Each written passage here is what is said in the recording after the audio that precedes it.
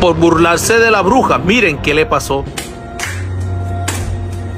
¡Ah, mami, ve esta señora que va pasando por ahí! ¡Se parece una bruja! Sí, hija, parece una bruja. ¿De qué fiesta de disfraz habrá salido? ¡Ay, mamá, verdad! Ay, no, hija, yo voy a cerrar la puerta porque esa señora se ve muy rara.